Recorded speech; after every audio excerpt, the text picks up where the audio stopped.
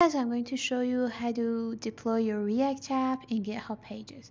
At first, go to your React app and open the terminal and run this command to install GitHub Pages. npm i gh-pages dash i save dash dev. Okay, and after you make sure it is installed, uh, let's go to our GitHub actually and log into your account and go to the repositories tab. Click on it okay? And then select new okay? And uh, we're going to actually create a new repository. I want to call it react dash deploy okay? And then leave everything default and create okay? This is our repository. Let's run git init inside our directory then git add dot.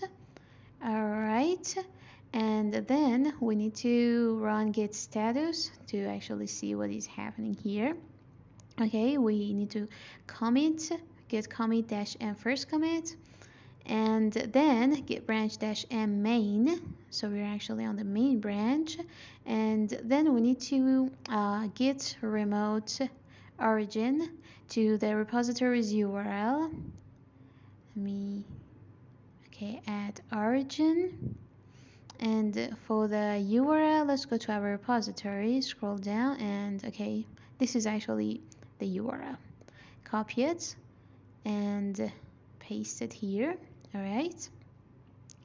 And uh, after that, simply push whatever you have here.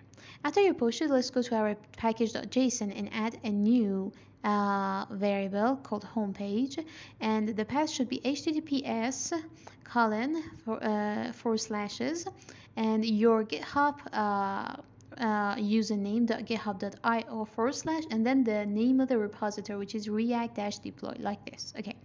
Make sure it is correct uh, otherwise it will not work. And then in the scripts we need to add two scripts. The first one is uh, the pre-deploy script.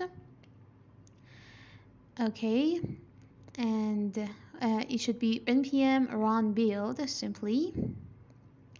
And the other one is a deploy script.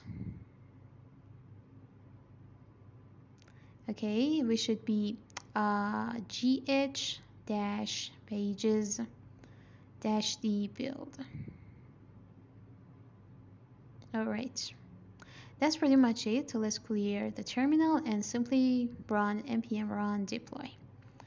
And uh, after it is complete you can see the published here. Let's go to our repository go to the uh, settings and you can see that the site is live. If I uh, click on the URL you can see it's live here and which is my reactor. That's all. Thanks for watching